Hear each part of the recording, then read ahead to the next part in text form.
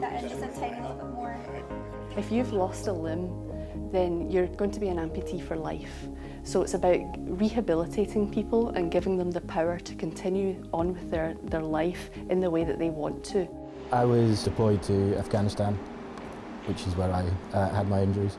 We were on a patrol, I was attached to the Danish infantry, um, and one of the soldiers tr trod a, um, a landmine essentially, and my team got called forward to try and um, give some first aid and clear some safe space and I ended up standing on a second IED.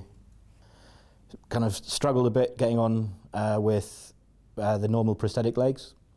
So eventually the military funded me to go to Australia where I had osseointegration, um, basically mechanically attaching the legs to the bone in your legs rather than using a socket. When I was in Australia actually the um, prosthesis I had there just um, I just started thinking I bet should be quite a good fun job to do. Uh, so when I came back decided to apply to come here. We found that having Alistair on the course is fantastic for the cohort of students because he's, he will view things very differently from someone who comes into the course straight from school, for example. So he is more aware of some of the challenges that an amputee has on a day-to-day -day life.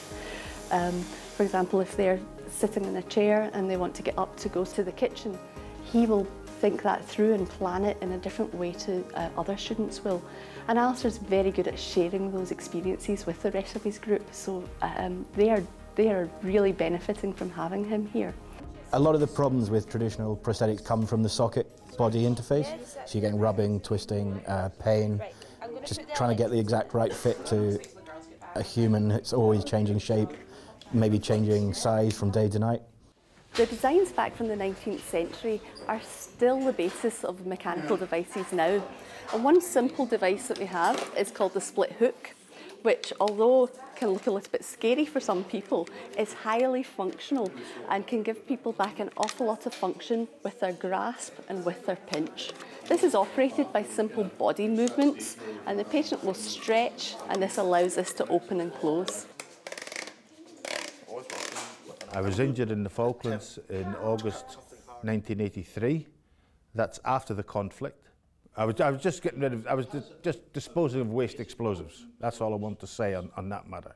But I was lucky enough to become one of the first to, to receive a myoelectric uh, on the NHS. Different different uh, harnesses, different slings, different uh, sockets.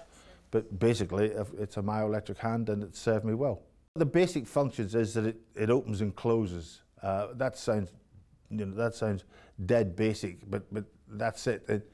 In my mind, I imagine doing that with the hand that I haven't got, and when I have the myoelectric on, uh, it it opens, and then I imagine doing that, and it closes.